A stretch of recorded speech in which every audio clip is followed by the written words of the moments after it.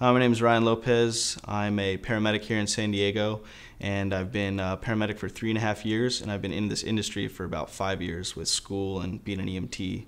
You know, when I first got into the EMS, being a paramedic, it was really just because I was interested in medicine. I wanted to do this job, but I never really thought I would have a deep connection to my job, and that all changed. The real, true, deep connection that I have all became clear to me when my mom actually got really sick one day and she stopped breathing and she went into cardiac arrest. My dad found her and started CPR and called 911 and when the paramedics got there my mom was in complete cardiac arrest.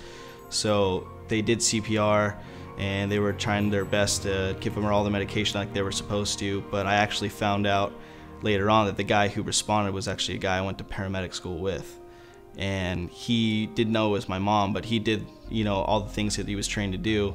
Worked on my mom, got her out on the way to the hospital. She finally got pulses back, and you know they turned her over to the ER, and that's when I was called, and I went and got to see her in that, you know, terrible state where she was just, you know, intubated. She was in a coma basically and uh, not doing so hot and they basically were almost going to call her and just say that it was enough like that she wasn't going to make it.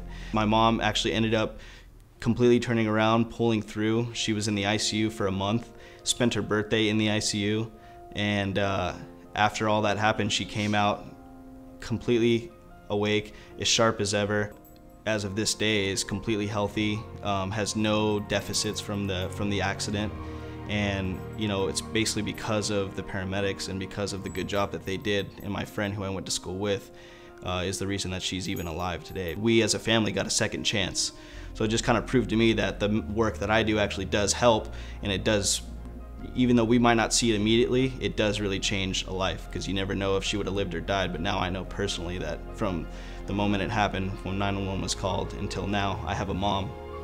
I have a much better connection with my family and you know, I'm there for my mom and, and it's just, I'm just lucky to have her.